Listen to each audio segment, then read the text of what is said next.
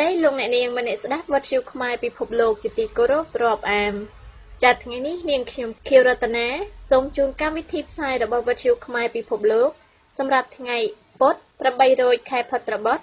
ឆ្នាំរកានពស័កពុទ្ធសករាជ2561ត្រូវនៅថ្ងៃទី13ខែកញ្ញាគ្រិស្តសករាជ2017ចាស់លោកអ្នកនាងនិងមនស្ដាប់ជាទីមេត្រី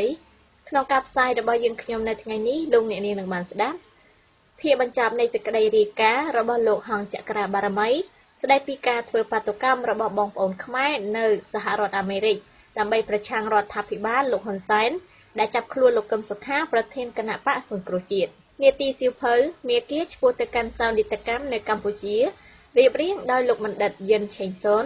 អានជូនដោយលោកសាមសវិតបន្ទាប់មកមាននេតិតន្ត្រីប្រចាំថ្ងៃ នេតិចំណេះដឹងទូទៅរៀបរៀងដោយអ្នកស្រីសៀនកេតជាដោយអ្នកស្រីនឹងបន្តអានសៀវភៅអ្នកទោសនយោបាយនិពន្ធដោយលោកប៊ុនច័ន្ទមុលតាមដោយនេតិវប្បធម៌ខ្មែររៀបរៀងដោយលោកម៉ៃសុភីរួចហើយបញ្ចប់កម្មវិធីផ្សាយថ្ងៃនេះដោយនេតិពីនេះពីនោះរៀបរៀងដោយលោកសាមសវិតចាស់ហើយជាបឋមនេះសូមអញ្ជើញលោកអ្នកនាងស្ដាប់ភាគបញ្ចប់នៃសេចក្តីរាយការណ៍របស់លោកហងចក្រាបារមី ស្ដីពីការធ្វើបាតុកម្មរបស់ប្រជាពលរដ្ឋខ្មែរនៅសហរដ្ឋអាមេរិកដើម្បីទាមទារឲ្យរដ្ឋាភិបាលលោកហ៊ុនសែនដោះលែងលោកកឹមសុខា ប្រធានគណៈបកសង្គ្រោះជាតិដែលបានចាប់ខ្លួនដោយចោទថាក្បត់ជាតិចូលដៃជាមួយសហរដ្ឋអាមេរិកដើម្បីផ្ដួលរំលំរដ្ឋាភិបាលលោកហ៊ុនសែនចាសសូមអញ្ជើញស្ដាប់ដូចតទៅ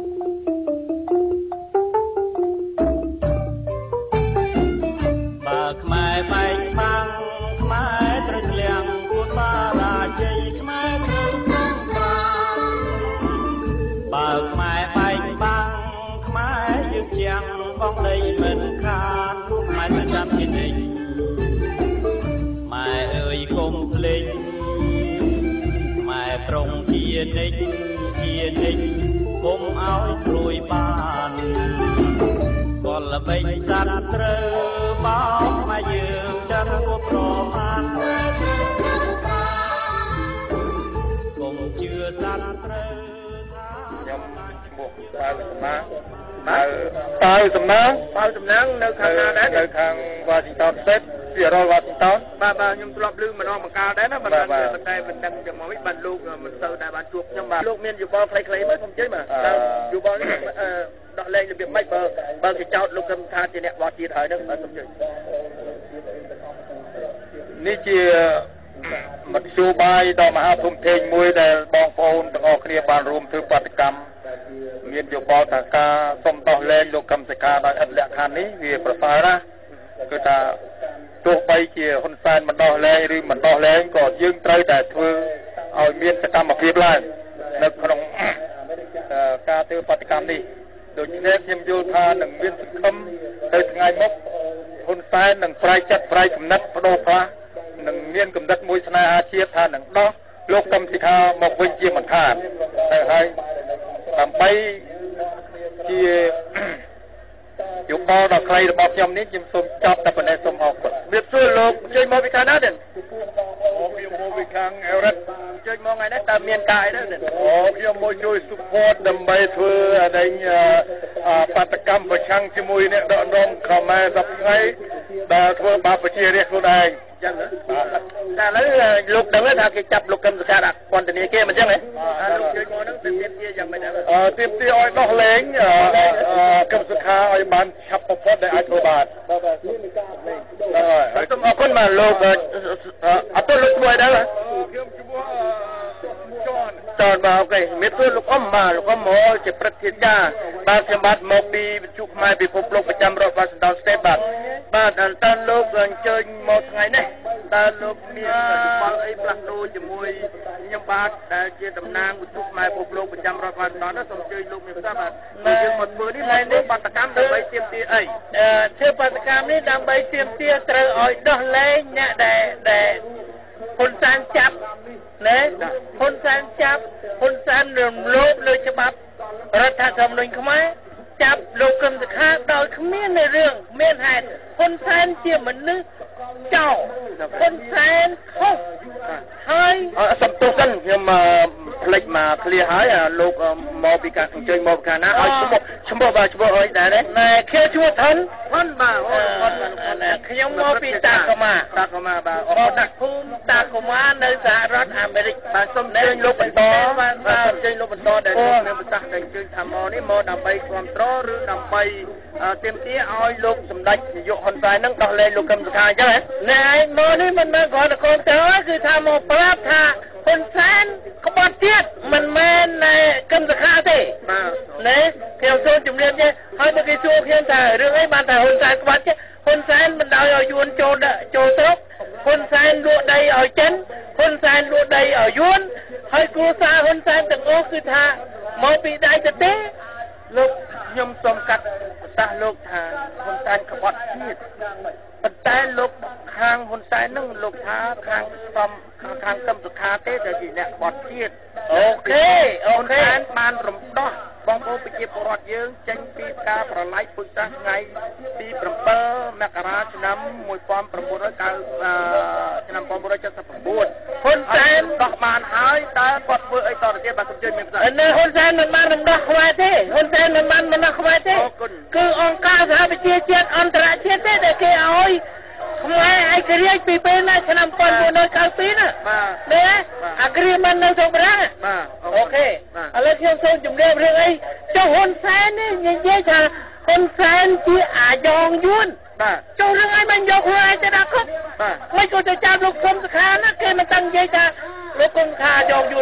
បងបាទបាទតែខ្ញុំមានមិនមានអីទេមានតែប៉ុណ្ណេះឯងបាទសូមអរគុណណាលោកអ៊ំលោកព្រឹទ្ធាចារ្យដែលបានជូនយោបល់ដល់ក្បោះបាយល្អណាយោបល់នេះខ្ញុំចង់បានណាយោបល់នេះណាបាទសូមចុះខអីបន្តិចជួយអីសូមកុំឲ្យប្រកែកកាត់បងប្អូននៅស្រុកខ្មែរក៏ដោយនៅស្រុកអាមេរិកក៏ដោយសូម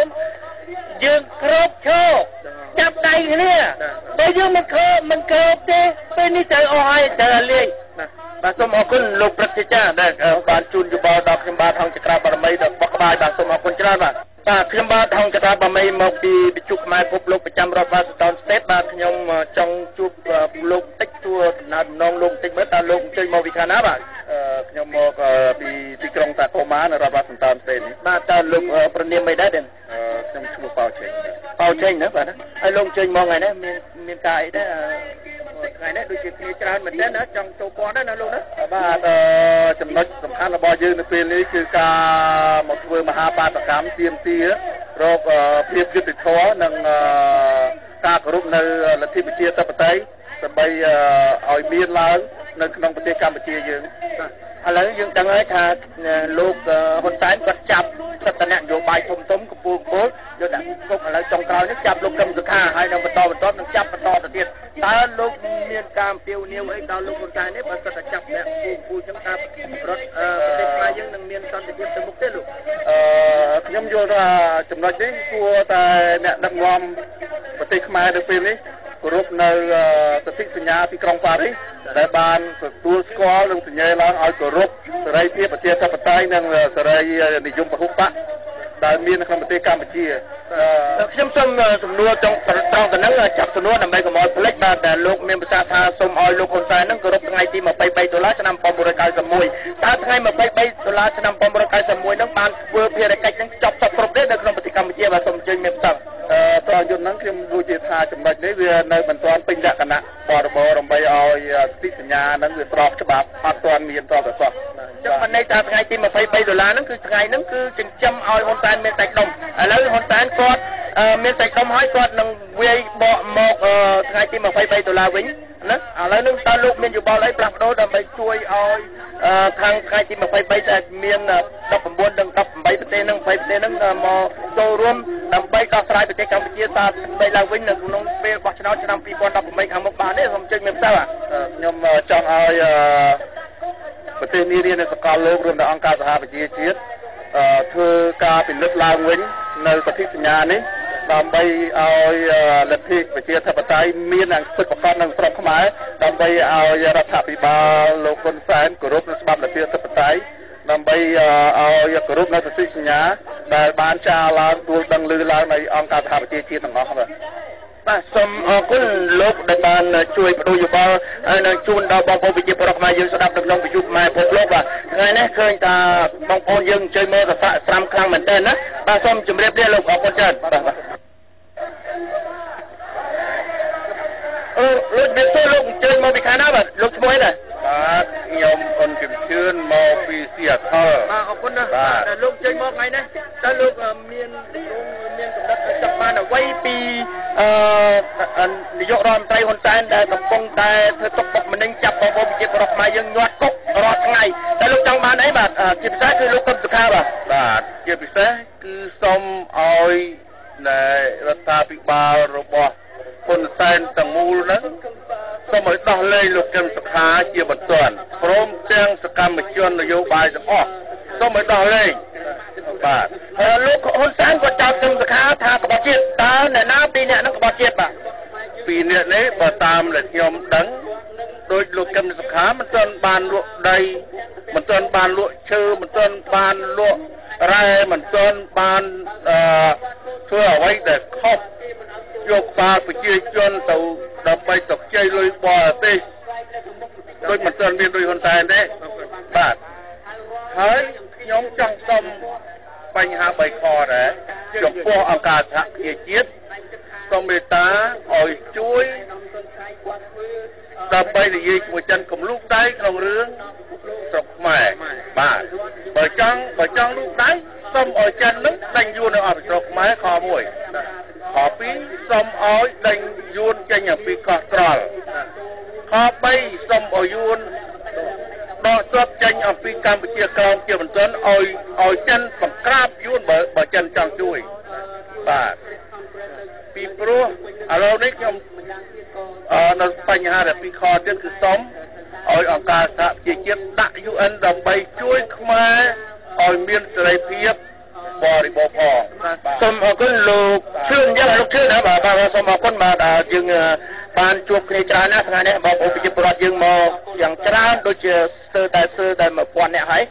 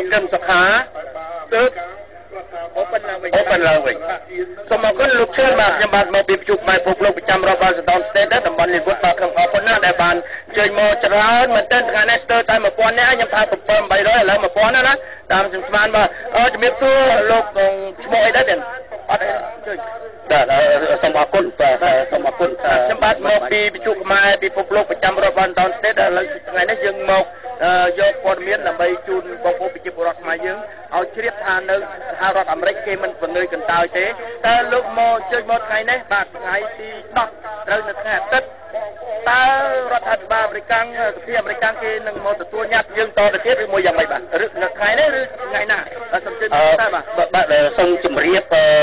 ថានៅថ្ងៃនេះដោយសារជាថ្ងៃអាទិត្យអឺអត់មានបុគ្គលិករដ្ឋការគាត់ធ្វើការងារនៅទីនេះទេអឺក៏ប៉ុន្តែខាងគណៈកម្មការរបស់យើងមានកម្រងនឹងយកឯកសារនឹងទៅជូនគាត់នៅកន្លែង office របស់គាត់នៅថ្ងៃណាមួយនៅក្នុងនៅក្នុងអាទិត្យខាងក្រោយនេះបាទ បាទតើលោកអញ្ជើញមកនឹងទៀបទាអ្វីខ្លះពីរដ្ឋាភិបាលភ្នំពេញបាទសូមអញ្ជើញបាទពួកយើងខ្ញុំទាំងអស់គ្នាដែលអញ្ជើញមកនេះគឺដើម្បីទាមទារឲ្យមានការដោះលែងឯកឧត្តមកម្មសការដែលត្រូវបាន ចាប់ដោយលោកហ៊ុនសែនដោយអយុធធម៌បំផុតដោយរំលោភលើសិទ្ធិរបស់សមាជិកសភាហើយនឹងរំលោភរដ្ឋធម្មនុញ្ញរបស់ខ្មែរដូច្នេះគឺយើងទាមទារឲ្យមានការដោះលែងហើយម្យ៉ាងទៀតយើងក៏ទាមទារឲ្យមានការដោះលែងដល់សកម្មជនទាំងឡាយដែលជាប់មន្ទីរឃុំឃាំងសប្តាហ៍នេះពីព្រោះពួកគាត់សុទ្ធតែជាអ្នកតស៊ូមតិណាគាត់គ្មានប្រើអំពើហិង្សាអ្វីទៅលើក្រុមណាផ្សេងទេណាដូច្នេះគួរតែរដ្ឋបាលពិចារណាក្នុងការដោះលែងពួកគាត់ទាំងអស់គ្នាឡើងវិញហើយយើងគិតគូរចាប់ដៃគ្នាធ្វើការងារកសាងប្រទេសរបស់យើងទាំងអស់គ្នាបាទសូមអរគុណបាទសូមអរគុណខ្ញុំសូមមួយចំនួនទៀតដែលប្រហែលថ្ងៃនេះខ្ញុំបាទបានឮថាខាង រដ្ឋាភិបាលចិនបញ្ជូនការបរជូនភ្នាក់ងារចិនមកគឺថាក្រសួងការបរទេសហ្នឹងមកមានថ្លែងការណ៍ជួបលោកហ៊ុនសែនហ្នឹងតើតើលោកហ៊ុនសែនមិនដាច់ពីមាត់ថាហ៊ុនសែនធ្វើអញ្ចឹងត្រូវតែចាប់នៅគណៈបកប្រឆាំងតើកាលណាដែលចិនគ្រប់គ្រងសម្ដេចនាយកហ៊ុនសែនហ្នឹងតើយួនវានឹងគិតយ៉ាងម៉េចដែរសូមជើញមានផ្នែកខ្លីៗបាទចេញបាទអឺរឿងនេះគឺវាអត់មានអីប្លែកទេចំពោះរដ្ឋាភិបាលចិនដែលគេគ្រប់គ្រងរដ្ឋាភិបាលផ្ដាច់ការឬក៏រដ្ឋាភិបាលកុម្មុយនីសដូចគ្នានឹង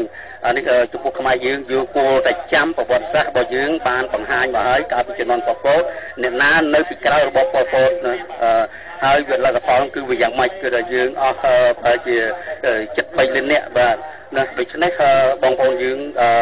គួរពិចារណាទាំងអស់គ្នាក្នុងការគ្រប់គ្រងរដ្ឋាភិបាលរបស់រដ្ឋាភិបាលលោកហ៊ុនសែនដែលមានចិននៅពីក្រោយនេះនឹងវាប្រកាសជាវាជាសញ្ញាអ្វីមួយដែលយើងទាំងអស់គ្នាត្រូវតែប្រុងប្រយ័ត្នទាំងអស់គ្នាហើយជាពិសេសអានេះវាក៏ជាសញ្ញាមួយដែលថា ចិនហើយនឹងយួនគេកំពុងតែលុកដៃយ៉ាងជ្រៅចូលមកក្នុងនយោបាយរបស់ខ្មែរយើងចូលមកក្នុងកិច្ចការរៀបចំប្រទេសខ្មែររបស់យើងនឹងបាទរដ្ឋាភិបាលមិនគួរមិនគួរចោលអឺលោកខាងលិចដូចជាសហរដ្ឋអាមេរិកក្តីដូចជាខាងយុរ៉ូពៀនក្តីគឺមិនគួរចោលទេយើងត្រូវតែប្រកាន់នៅនយោបាយរបស់យើងឲ្យសមស្របគឺនយោបាយកណ្ដាលយើងមិនត្រូវប្រកាន់ពួកអង់គ្លេសពួករិញកុម្មុយនីសអញ្ចឹងទេបាទសូមអរគុណមួយសំណួរខ្លីទៀតទេណាលោកហ៊ុនសែនគាត់ចោទកឹមសុខាថាក្បត់ជាតិតែលោកហ៊ុនសែនគាត់ពឹងចិនពឹងយួនតើនរណាមួយក្បត់ជាតិបាទបាទដល់ខ្លីអានឹងខ្ញុំបានយល់ហើយលោកកឹមសុខាគាត់ជាចំពោះខ្ញុំគាត់ជាវីរបុរសរបស់ខ្មែរគាត់មិនដែលបំផ្លាញទ្រព្យសម្បត្តិធម្មជាតិរបស់ខ្មែរទេណាប៉ុន្តែនរណាដែលជាបំផ្លាញធម្មជាតិព្រៃទ្រព្យសម្បត្តិធម្មជាតិរបស់ខ្មែរនឹងគឺនរណាដូច្នេះបងប្អូន ពិចារណាទៅតាមនឹងចុះបាទសូមអរគុណបាទសូមអរគុណលោកតាចាដែលខ្ញុំមកពីជួបម៉ែពុកលោកបាទសូមជម្រាបលាបាទហើយខ្ញុំសូមវិលត្រឡប់ទៅជួបបងអូនខាងនេះមួយទៅបាទបងអូនខាងនេះមកពីខាងណាចេះគឺអាសម្បើបាទសូមជម្រាបលាបាទលោកលោកបងបាទបាទសូមអរខ្ញុំបាទជួបស៊ីអេវឌ្ឍនាសូមគោរពលោកបងហងចក្រាបារមីបាទពីវិទ្យុខ្មែរពីពុកលោកអូអរគុណណាស់ហើយលោកបងឈ្មោះអីម្ដងទៀតមើលខ្ញុំដូចពិបាកចាំហ៎ឈ្មោះលោកវែងបាទខ្ញុំបាទឈ្មោះសេកហេងវឌ្ឍនាអូសេកហេងសេកមិន សយបាទសេកមិនសយវឌ្ឍនាមិនដែលសយបាទមិនដែលសយទេសេកមិនសយវឌ្ឍនាឥឡូវនេះខ្ញុំចុះមកនេះគឺខ្ញុំឃើញបងប្អូនប្រជាពលរដ្ឋខ្មែរហ្នឹងមកអឺធ្វើមហាបាតកម្មតើលោកមកអញ្ជើញមកនេះលោកចង់បានអ្វីពីសម្ដេចនាយកតេជោហ៊ុនសែនបាទសូមអញ្ជើញមានផ្សាយដូច្នេះជាបឋមយាបាទសូមគោរពបងប្អូនដែលកំពុងស្ដាប់វិទ្យុខ្មែរពីព្រោះលោកក្នុងថ្ងៃនេះប្រជាពលរដ្ឋខ្មែរយើងនៅក្នុងរដ្ឋ Washington ក្នុងថ្ងៃនេះមកធ្វើបដកម្មមហាបដកម្មដើម្បីសម្ដែងជាមតិ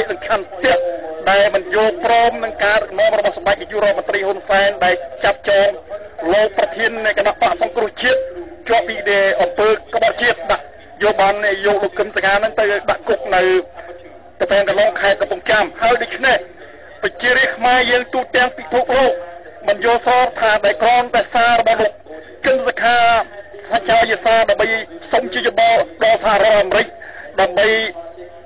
សុំការគ្រប់គ្រងធ្វើយ៉ាងម៉េចឲ្យបោះឆ្នោតមានតាមលទ្ធិប្រជាធិបតេយ្យកម្ពុជាផ្ទុយទៅវិញលោកនាយករដ្ឋមន្ត្រីហ៊ុនសែនបានចោទប្រកាន់លោកគឹមសខាបានចូលរួម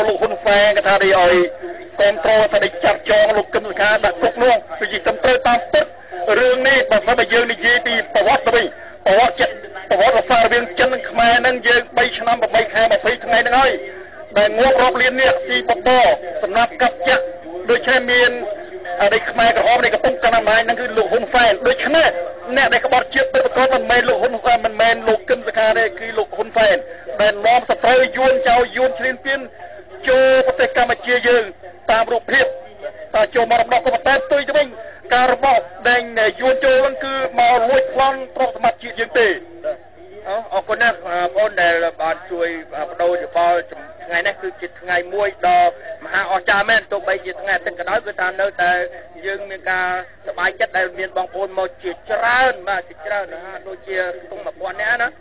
បាទហើយលោកមានអ្វីតាមផ្ញើដល់បងប្អូនប្រជាពលរដ្ឋយើងចុងក្រោយហ្នឹងដូច3 4ម៉ាត់ដូច្នេះជាទីបញ្ចប់នេះសូមបងប្អូនប្រជារាស្ត្រខ្មែរដែលនៅក្នុងប្រទេសរាជាណាចក្រកម្ពុជានិងកម្មករនៅថៃក៏ភ្លេចចូលរួមក្នុងការចុះឈ្មោះបោះឆ្នោតហើយលោកគិនលោកហ៊ុនសែនដែលធ្វើការចាក់ខ្លួនលោកគិនសខានេះគឺដើម្បីបង្វែងបានមិនឲ្យមិនឲ្យយើងចាប់អារម្មណ៍ពីក្នុងការបោះឆ្នោតទេដូច្នេះ នៅពេលបន្តិចទៀតនេះលោកគិនសខានឹងត្រូវដោះលែងដោយយ៉ាងណានោះខ្ញុំក៏មិនដឹងដែរដូច្នេះការដែលចាប់ចងនេះគឺដើម្បីបង្វែងស្ថានភាពមិនឲ្យយើងចូលរួមការបោះឆ្នោតសូមអរគុណសូមសូមអរគុណលោកបងបាទឥឡូវចង់ជួបបងប្អូនគ្នាបន្តិចមើលតើមានយោបល់អីដែរបាទសូមជិត ខ្ញុំមកពីលេនវូតឈ្មោះវុធីជាតែមកនេះដើម្បីទៀមទាឲ្យមានសិទ្ធិសេរីភាពលោកកែបខាដែលបានចាប់ដាក់គុកដោយសារប៉ុន្តែចៅតជាជនក្បត់ជាតិហើយនឹងបន្ថែមពីនេះទៀតគឺថាមានជនជាប់ទោស ខាងនយោបាយផ្សេងផ្សេងទៀតដែលបានជាប់ដាក់គុកដូចលោក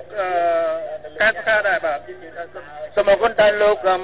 មកថ្ងៃនេះដែលលោកមានបានជ្រាបទេថាយើងនឹងបោះឆ្នោតនៅឆ្នាំ2018ហ្នឹងគឺយើងបោះបោយសន្តិវិធីរបៀបម៉េចសូមឲ្យលោកបងជួយទៀមទាមើលបាទសូមជើញប្រកាសតាមខ្ញុំដឹងខ្ញុំបានលើតាមមើលតាមប្រព័ន្ធញូផ្សេងផ្សេងគឺថាយើងចង់ឲ្យមានគណៈបក បោះឆ្នោត2018ហ្នឹងឲ្យមានបកផ្សេងផ្សេងដែលចូលរួមហ្នឹងជាគេថាមានជាភាពជាប្រជាធិបតេយ្យប៉ុន្តែលោកហ៊ុនសែនគាត់ថានឹងរំលាយគណៈបកសង្គ្រោះជាតិដែរយ៉ាងម៉េចដែរនេះគឺថាជាខុសច្បាប់ខុសច្បាប់តាមអន្តរជាតិហើយនឹងតាមយើង Peace Agreement 1991ហ្នឹងគឺថាវាខុសច្បាប់អានឹងទៀតបាទ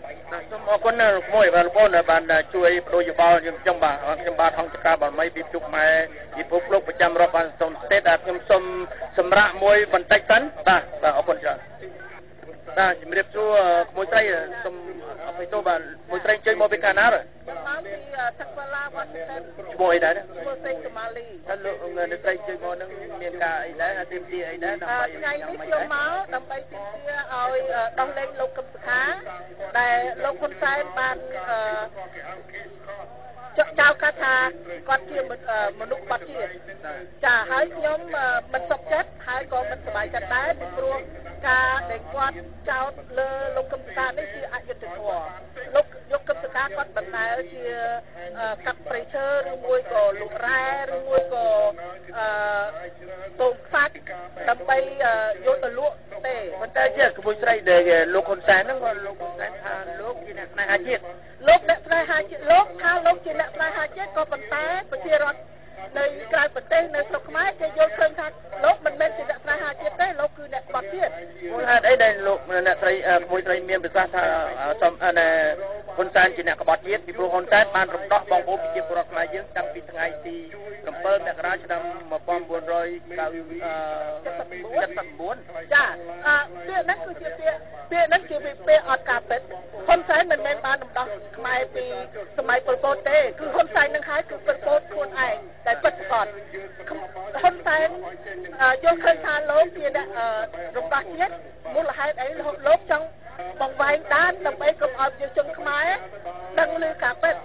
ចាលោកគឺជាអ្នកបាត់ជាតិពិតប្រាកដបាទខ្ញុំចង់សួរមួយមួយម៉ាត់ចុងក្រោយណា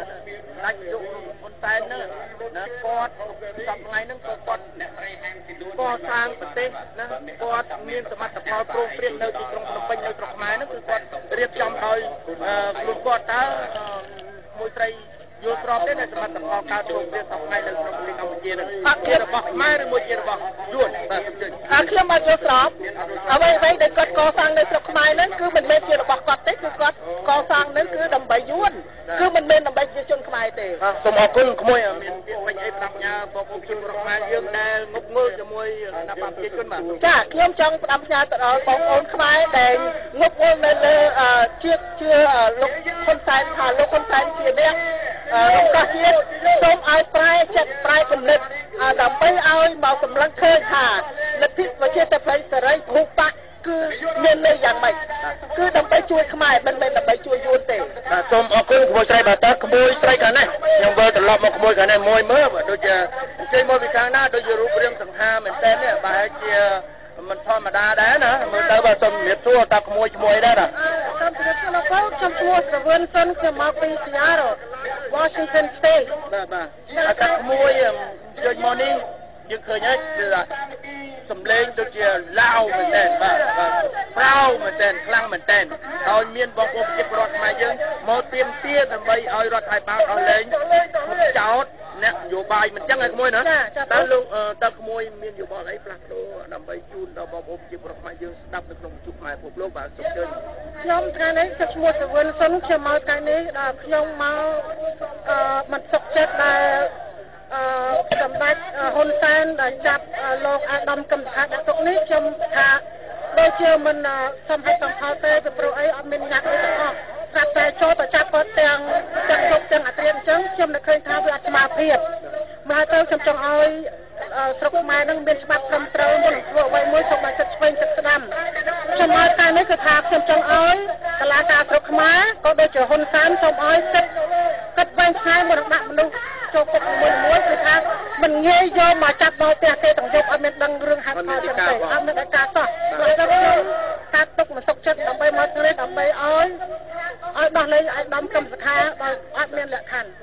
អរគុណមួយស្រីតែខ្ញុំចង់វិលសំណួរមួយទៀតថាលោកកម្មសខានឹង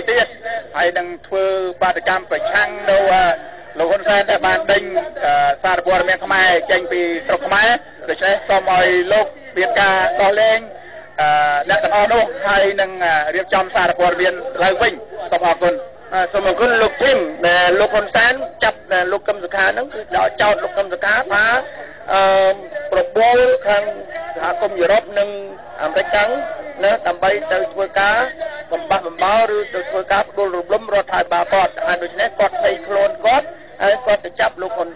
កឹមសុខាតើលោកគឹមសុខាគាត់ជាអ្នកផ្ដួលរំលំឬមួយគាត់ធ្វើទៅតាមសន្តិវិធីលោកមានសាសខ្លីៗបាទមិនចប់បាទតាមការយល់ឃើញរបស់ខ្ញុំគឺលោកកម្មសខាគាត់ធ្វើតាមការដឹកនាំរបស់គាត់ធម្មតាអ្នកដឹកនាំអឺគណៈបកមួយមួយតែតែមានការចង់ឈ្នះចឹងហើយការនិយាយស្ដីការអីទាំងអស់ហ្នឹងអឺគឺមានការចង់ចង់ឈ្នះចង់ ប្រាប់រឿងប្រជាជនពីរឿងនេះរឿងនោះពីរឿងដើមដែលយើងធ្វើដូច្នេះការដែលធ្វើរបស់គាត់ហ្នឹងមិនមែនជារឿងអឺបន្លឺឬក៏រឿងចាប់ផ្ដើមឲ្យទៅធ្វើជាបដិវត្តពណ៌ឬជាស្អីការធ្វើបដិវត្តពណ៌អីសពអេសពយ៉ាងហ្នឹងគឺលោកហ៊ុនសែនទៅវិញទេដែលជាអ្នកធ្វើបដិវត្តពណ៌ហើយដូច្នេះខ្ញុំជឿថាលោកកម្មសខាគាត់មិនមែនជាអ្នកធ្វើបដិវត្តពណ៌ទេគឺគាត់ជាអ្នកបង្រួបបង្រួមជាតិគាត់ជាអ្នកដោះស្រាយពីបញ្ហាជាតិ ទៅអនាគតបាទខ្ញុំមានតែប៉ុណ្ណឹងលោកសូមអរគុណណាស់លោកធីមអរគុណណាស់ដែលបានជួបលោកធីមនៅថ្ងៃនេះបាទជម្រាបលាបាទបាទខ្ញុំបាទអង្គចក្រម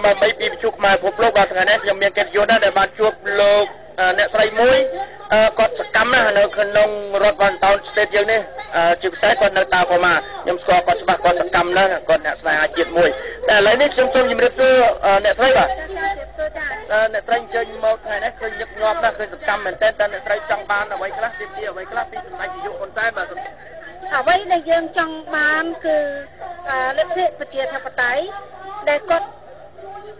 មិនអាចធ្វើបានឲ្យពួកយើងពួកយើងមកដល់ណាហើយពួកយើងទាំងអស់គ្នាគួរតែបានសុខប៉ុន្តែយើងមិនអាចទ្រាំបានទេឥឡូវពួកយើងទាំងអស់គ្នាជាចុងក្រោយនេះអឺធ្វើឲ្យពួកយើងមិនអាចនៅស្ងៀមកាន់តែអឺមិនអាចនៅស្ងៀមតទៅទៀតអឺ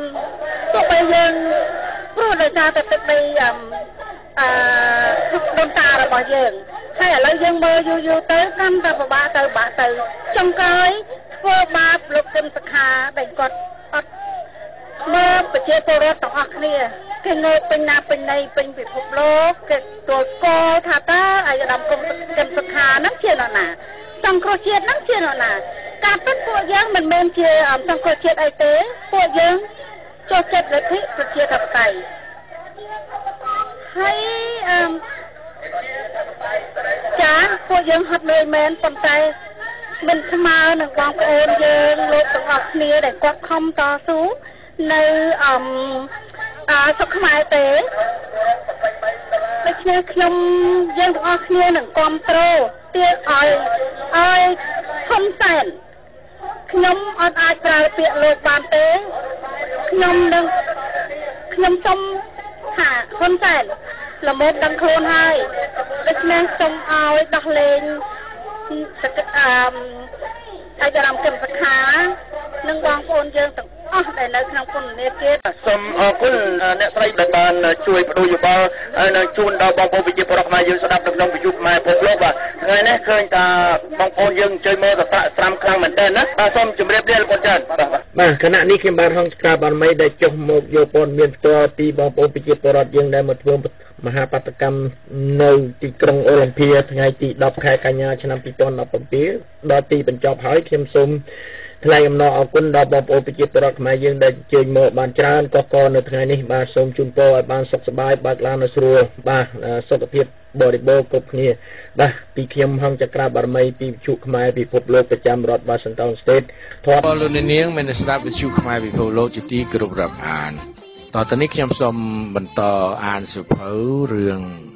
មេគាឈ្មោះទៅកាន់សោកនាដកម្មនៅកម្ពុជារបស់លោកបណ្ឌិតយិនឆេងសូនដែលកាលពីម្សិលមិញខ្ញុំអានក្នុងវគ្គស្ដីពីកត្តានានាដែលជួយឲ្យខ្មែរក្រហម មានជ័យជំនះហើយខ្ញុំអានដល់វគ្គត្រង់នេះបាទ ប្រភពផ្សេងទៀតក៏បានអះអាងដែរថាពួកវៀតណាមបានចូលរួមក្នុងការវាយផ្ដាច់ព្រាត់ដើម្បីផ្ដួលរំលំសាធារណរដ្ឋខ្មែរដែរតាមរយៈការផ្ដល់អាវុធរ៉ុកែតនិងកាំភ្លើងធំខ្នាត120មីលីម៉ែត្រនិង130មីលីម៉ែត្រដែលផលិតនៅសហភាពសូវៀតនិងទាហានអ្នកបាញ់សញ្ជាតិវៀតណាមមួយចំនួនដែរដោយសារក្នុងជួរកងទ័ពខ្មែរក្រហមគ្មានអ្នកឯកទេសខាងប្រើអាវុធធុនធ្ងន់ប្រភេទនេះទេ បាទតទៅនេះគឺជាវគ្គបន្តស្ដីពីប្រជាប្រិយភាពសម្ដេចនរោត្តមសីហនុនិងកត្តាដទៃទៀតដោយបានរៀបរាប់ពីខាងដើមហើយថានៅដើមឆ្នាំ1970ចំនួនកងទ័ពខ្មែរក្រហមមានកម្រិតទាំងបរិមាណនិងគុណភាព ហើយមិនទាន់ជាកងទ័ពប្រយុទ្ធរៀបរយនៅឡើយក្រោយពេលដែលមានការរួបរวมជាមួយសម្ដេចនរោត្តមសីហនុខ្មែរក្រហមបានឆ្លៀតទាញប្រយោជន៍ពីប្រជាប្រិយភាពរបស់ព្រះអង្គ ដែលមានភាកច្រើននៅក្នុងអារម្មណ៍មហាជនឯទីជនបទបន្ទាប់ពីបានត្រូវគេទម្លាក់ព្រះអង្គពីតំណែងជាព្រះប្រមុខរដ្ឋសម្ដេចសៀនុស្នាក់នៅពេកាំងនិងសហការជាមួយពួកចលនាខ្មែរកុម្មុយនីសដើម្បីផ្ដួលរំលំរបបលន់នល់នៅភ្នំពេញ ការអំពាវនាវចំពោះកូនចៅដែលមានស្វាមីភក្តិចំពោះសម្ដេចឪធ្វើឲ្យប្រជាពលរដ្ឋនៅជនបទមួយចំនួនធំឆ្លើយតប ដោយស្ម័គ្រចិត្តធ្វើទ័ពយ៉ាងកុះករនិងត្រៀមពលីគ្រប់បែបយ៉ាង ដើម្បីដណ្ដើមអំណាចថ្វាយព្រះអង្គវិញ តាមរយៈការតស៊ូច្បាំងទល់នឹងទ័ពរដ្ឋាភិបាលសាធារណរដ្ឋខ្មែរពួកគេចូលធ្វើការតស៊ូដើម្បីព្រះមហាក្សត្រនិងមិនមែនដើម្បីពួកកុម្មុយនីសទេប៉ុន្តែប្រជាជនទាំងនោះយល់ដឹងតិចតួចណាស់ពីពួកក្រោយនេះ ក្នុងឱកាសនៃការជួបជាមួយមេដឹកនាំវៀតណាមនៅហាណូយក្នុងខែមីនាឆ្នាំ1978ណាយ៉ាន់ចន្ទាបានសន្ទនាជាមួយលោកវ៉ឌុងយ៉ាង កាលនោះជារដ្ឋមន្ត្រីក្រសួងការបរទេសវៀតណាម ដែលថ្លែងពីការមិនចុះសម្រុងគ្នាយ៉ាងជ្រាលជ្រៅរវាងបកវៀតណាម និងក្រុមអ្នកដឹកនាំបកកុម្មុយនីសកម្ពុជាយ៉ាងបានឲ្យដឹងថាពួកកុម្មុយនីស កម្ពុជាបានចំណេញពីប្រជាប្រិយភាពរបស់សម្ដេចសៀនុយ៉ាងច្រើន គឺកិត្យានុភាពរបស់សម្ដេចសៀនុតមកទៀតគឺអធិពលនៃមេគានយោបាយក្នុងផ្ទៃបកកុម្មុយនីសកម្ពុជានេះហើយដែលអនុគ្រោះឲ្យមានការរួបរวมកម្លាំងរបស់ប្រជាជនយ៉ាងកុះករប្រឆាំងខ្មាំងសត្រូវហើយពុំមានករណីណាមួយជារបស់ប៉ុលពតទេក៏ប៉ុន្តែប៉ុលពតបានប្រើឧបាយកលប្រទាញការបដិវត្តរបស់កម្ពុជា ឲ្យធ្លាក់ទៅក្នុងផ្លូវឆ្វេងនិយមជ្រុលនាយ័នចន្ទាបានទាំងកត់សម្គាល់ថាក្នុងឱកាសនៃព្រះរាជដំណើរទស្សនកិច្ចរបស់សម្ដេចសៀនុនៅតំបន់រំដោះនៅក្នុងឆ្នាំ1973ប្រជាប្រិយភាពរបស់ព្រះអង្គមិនមានស្រកស្រដឡើយក្រៅពីនេះនៅសមរភូមិការទូតចលនាតស៊ូរបស់រណសេរីរួបរวมជាតិកម្ពុជាក៏ដូចជាចលនារបស់ពួកខ្មែរក្រហម រហូតដល់ការដណ្ដើមបានជោគជ័យទាំងស្រុងនាខែមេសាឆ្នាំ1975ដែរគឺដោយសារប្រជាប្រិយភាពរបស់សម្ដេចសៀនុនៅលើឆាកអន្តរជាតិនិងកិច្ចខិតខំប្រឹងប្រែងរបស់ចិនផងដែរអ្វីបើអង្គការសហប្រជាជាតិបានរក្សាអាសនៈសាធារណរដ្ឋខ្មែរតាំងពីខែតុលាឆ្នាំ1970រហូតដល់ខែមេសាឆ្នាំ1975ក៏ពិតមែន ប៉ុន្តែវាជាការតស៊ូមតិគ្នាយ៉ាងស្វិតស្វាញរៀងរាល់សម័យប្រជុំនៃមហាសន្និបាតរវាងភាគីគ្រប់គ្រងរដ្ឋាភិបាលលន់នល់និងរដ្ឋាភិបាលនិរទេសដឹកនាំដោយសម្ដេចនរោត្តមសីហនុនៅលើសមរភូមិការទូតនេះរដ្ឋាភិបាលរួបរวมជាតិកម្ពុជា ដឹកនាំដោយអតីតព្រះមហាក្សត្រហាក់មានព្រៀបដោយបានបណ្ដេញតំណាងរដ្ឋាភិបាលកាន់អំណាចនៅទីក្រុងភ្នំពេញចេញនិងដណ្ដើមបានអាសនៈនៅក្នុងប្លុកប្រទេសមិនចូលបកសម្ព័ន្ធ នៅឆ្នាំ1973ប្រទេសចិននិងប្រទេសជិតស្និទ្ធដទៃទៀត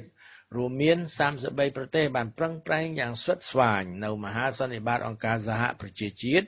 ក្នុងយុទ្ធនាការដណ្ដើមអាសនៈឲ្យរដ្ឋាភិបាលរួបរวมជាតិប៉ុន្តែរដ្ឋាភិបាលលន់នល់បានគេចផុតពីបរាជ័យយ៉ាងប្រផិតប្រផើយ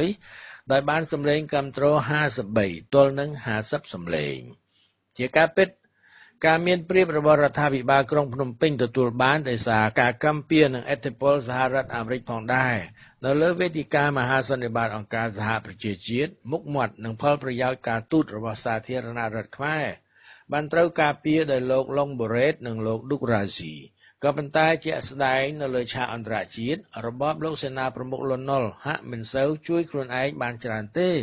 ដោយតំបន់កាន់កាប់របស់ខ្លួនកាន់តែរួមតូចជាលំដាប់ ហើយរដ្ឋាភិបាលរបស់គាត់ធ្វើឲ្យសាធារណមតិកាន់តែមិនចូលចិត្តដោយសារភាពល្បីល្បាញនៃអំពើពុករលួយនិងអសមត្ថភាព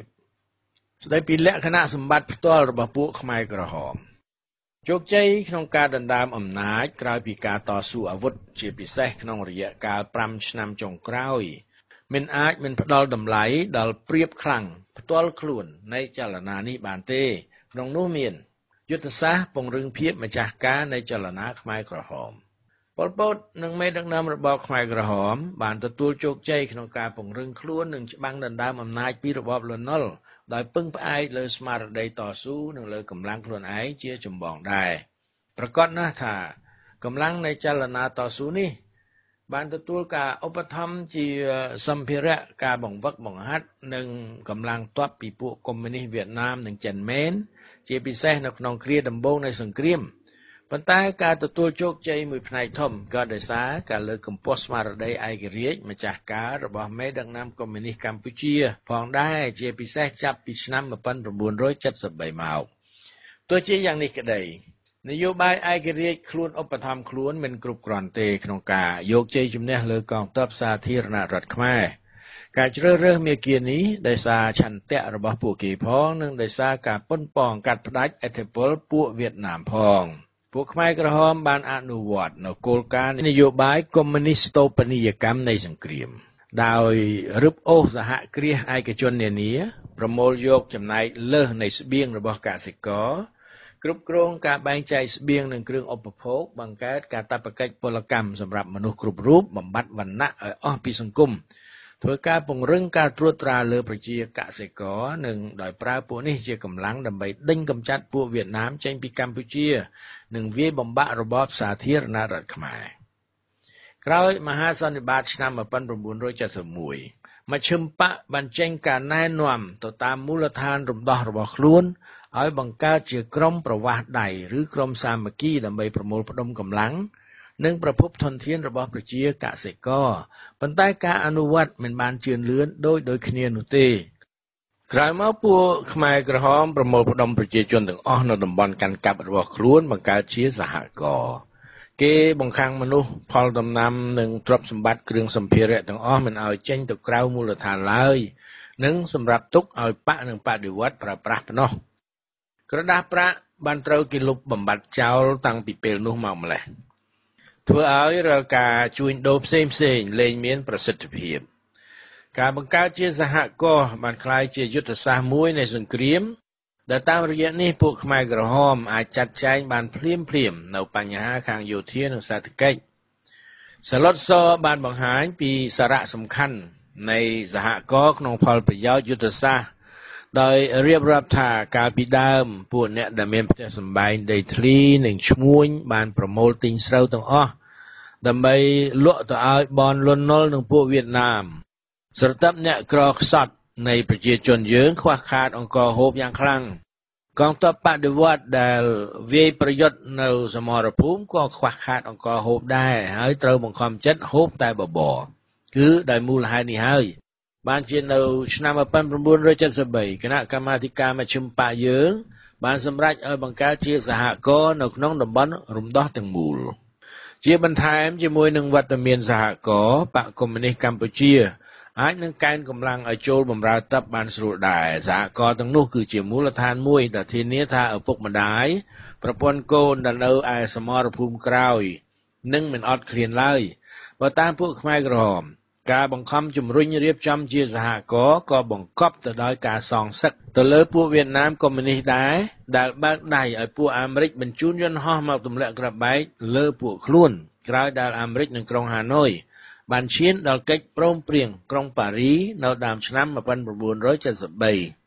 ការបង្កើតជាសហគមន៍នឹងហាម5ការចាយលុយវាមិនបង្កលក្ខណៈឲ្យពួកវៀតណាមអាចទិញស្រូវបានទៀតឡើយ។ ក្រៅពីនេះដើម្បីកែនប្រមូលកម្លាំងធ្វើទ័ពពួកខ្មែរក្រហម បានធ្វើការចាប់បង្ខំប្រមូលយុវជន រួមទាំងកុមារផងឲ្យចូលធ្វើកងទ័ពមុនឆ្នាំ1975អង្គការក៏បានហាមឃាត់ស្ទើរតែទាំងស្រុងនៅការរៀបអាពាហ៍ពិពាហ៍ដើម្បីឲ្យបកអាចធ្វើការជ្រើសយកយុវជននិងយុវនារីចូលបម្រើក្នុងកងទ័ពបានដោយស្រួល។ ប៉ុន្តែគួររំលឹកថានយោបាយបង្ខិតបង្ខំកំរោលនិងផ្ដាច់ការខាងលើពុំមែនមានគុណសម្បត្តិសុទ្ធសាធនោះទេ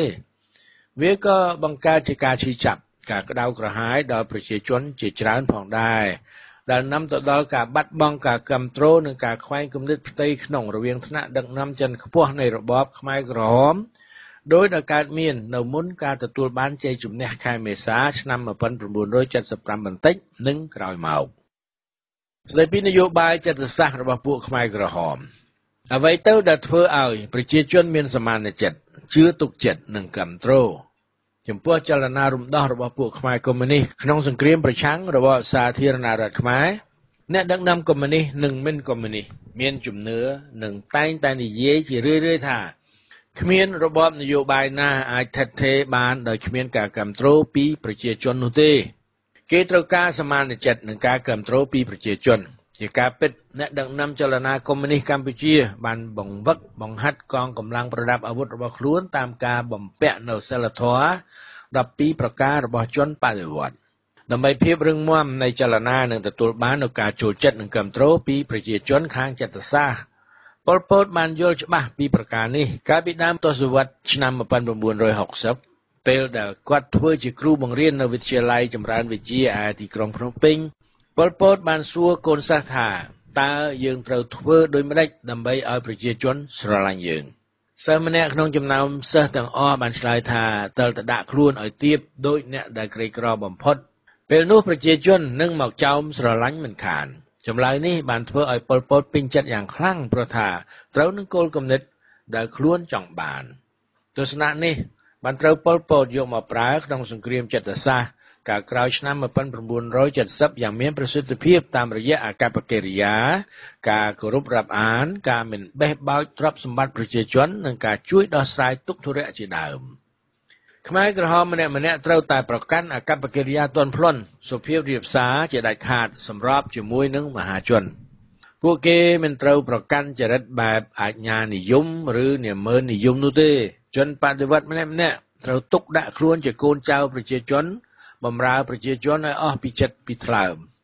គេច្រើននិយាយជារឿយរឿយនៅពាក្យរបស់ម៉ៅសេតុងដែលថាប្រជាជនគឺជាទឹក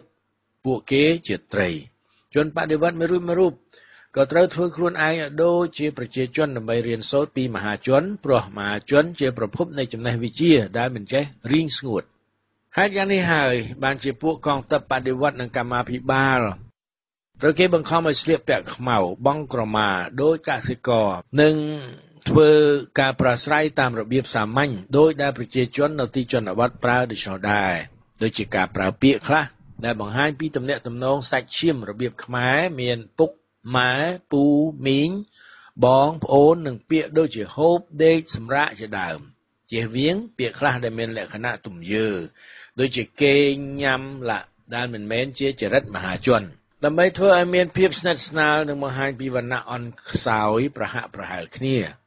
ក្រោយមកទៀតទើបគេប្រើពាក្យមិត្តកាន់តែទូលំទូលាយឡើង ជាគោលការណ៍ក្នុងការរស់នៅដេកដើរស៊ីចុកស្លៀកពាក់ពួកគេត្រូវមានអាកប្បកិរិយាប្រុងប្រយ័ត្ននិងត្រូវទន់ភ្លន់សុភាពរាបសារនៅពេលនិយាយទៅកាន់ប្រជាកសិករម្ហូបអាហារប្រចាំថ្ងៃក៏មិនត្រូវសម្បូរហូរហៀពោពាសនិងឆ្ងាញ់ពិសា លើសប្រជាជនដែរពួកគេឧស្សាហ៍រំលឹកដល់សភាពក្រខ្សត់របស់ប្រជាជន ដែលបានគ្រប់គ្រងចលនាបដិវត្តរបស់គេពួកកងទ័ពរំដោះនិងកម្មាភិបាលកុម្មុយនីសប្រកាន់វិន័យតឹងរឹងណាស់មិនប៉ះពាល់ទ្រព្យសម្បត្តិប្រជាជនទេប្រការនេះបានធ្វើឲ្យពួកគេ មានប្រៀបជាងកងទ័ពសាធារណរដ្ឋខ្មែរដែលមិនសូវគោរពវិន័យនិងសិលធម៌ម៉ត់ចត់ឡើយដូចជាការចាប់សត្វមន់ទាគោជ្រូកនិងទ្រព្យសម្បត្តិដទៃទៀតនៅទីណា ដែលគេតាំងនៅក៏ដូចជានៅទីលានប្រយុទ្ធជាដើមក្រៅពីនេះការខូចខិលចាប់រំលោភខ្សែផ្សិនធវៈឬបង្ខូចកូនក្រមុំប្រជាជនដោយយុទ្ធជនឬកម្មាភិបាលបដិវត្តនឹងត្រូវទទួលទោសជាទម្ងន់ចំណុចពិសេសមួយទៀតជាសកម្មភាពចិត្តសាស្ត្រយ៉ាងស័ក្តិសិទ្ធិរបស់ពួកខ្មែរក្រហមគឺការជួយទុកធុរៈដល់ប្រជាកសិករបើមានកសិករណាឈឺថ្កាត់ក្នុងភូមិជាពិសេសកសិករក្រីក្រ ពួកខ្មែរក្រហម បានផ្ដល់ការព្យាបាលឬចែកថ្នាំឲ្យមិនថាពេលយប់ឬថ្ងៃឡើយនៅរដូវភ្ជួររាស់ដ៏ស្ទូងច្រូតកាត់ឬបោកបែនមន្ទីរឬអង្គភាពនីមួយនីមួយត្រូវចាត់បុគ្គលិកខ្លួនឲ្យទៅជួយពួកកសិករតាមតែអាចធ្វើទៅបាន